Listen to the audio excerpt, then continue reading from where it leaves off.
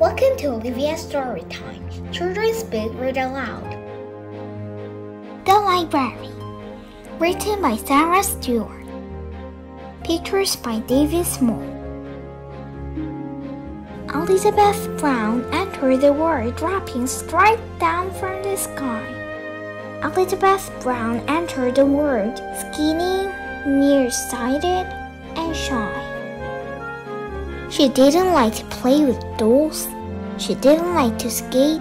She learned to read quite early and at an incredible rate. She always took a book to bed with a flashlight under the sheet. She'd make a tent of covers and read herself to sleep.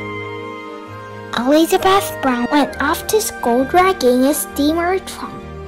Elizabeth Brown unpacked her books, breaking the upper bunk.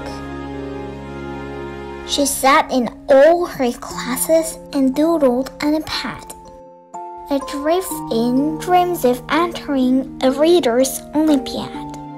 She manufactured library cards and checked out books to friends, then shocked them with the midnight raids to collect the book again. Elizabeth Brown preferred a book to going on a date. While friends went out and danced till dawn, she stayed up reading late.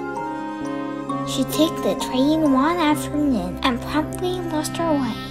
So bought a house and settled down to touring for a pay.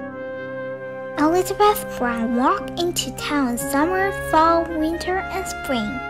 Elizabeth Brown walked into town looking for only one thing. She didn't want potato chips. She didn't want new clothes. She went straight to the bookstore.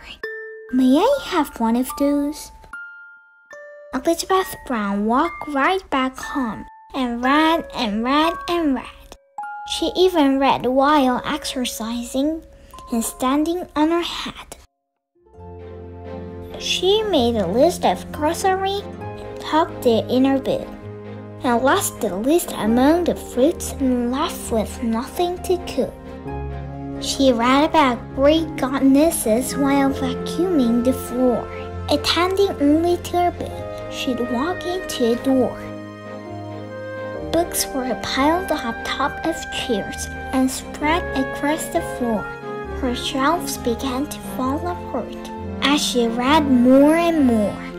Big books made very tall stacks on which teacups could rest. Small books became the building blocks for busy little guests. When volumes climbed the parlor walls and blocked the big front door, she had to face the awful fact she could not have one more. Elizabeth Brown walked into town that very afternoon. Elizabeth Brown walked into town whistling a happy tune.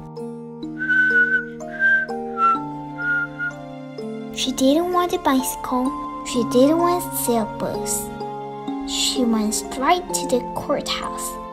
May I have one of those? The form was for donation. She quickly wrote this line I. E. Brown give to the town all that was ever mine.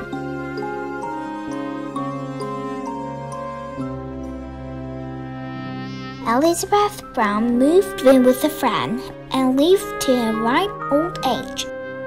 They walked to the library day after day and turned page after page after page. We hope you all enjoyed this story. If you like it, let's give it a thumbs up and share it. Remember to subscribe. Thank you so much.